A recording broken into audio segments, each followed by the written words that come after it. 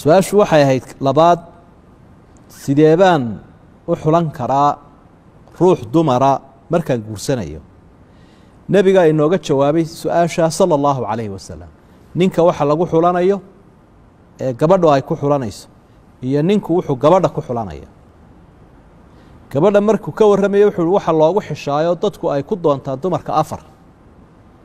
Qoladeeda maalkeeda quruxdeeda iyo diinteeda fadfar bidaati diin.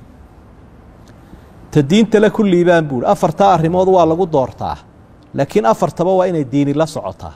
Marnaba diintu waa inaanay ka maqnaan. Taa diintalaan kuugu duceeyey buu nebigu leeyay taa ku liibaan ku guulayso. Nebigaa ku duceeyey sala allahu calayh wasalam qof nebi ku duceeyunbaa dad ugu wanaagsan. Haddii inta kaleba ay leedoo diinta aanay lahayn damba way kuu dayici.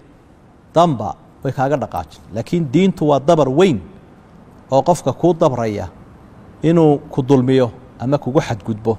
Intaba diintiisaa ka ilaalinaysooo qur'aankaa ka joojinayo xadiidkaa ka joojinayo ilaahay ayuu kaaga cabsanaya.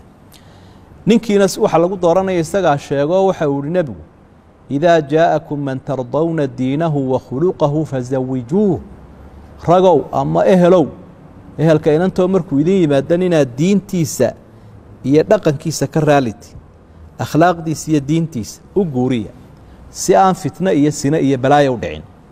Marka taana jawaabtaasaynu ka duulaynaayo haddii taa la waayo talada nebiga la weydaartay iyo tilmaantiisa turunturadu way badanaysa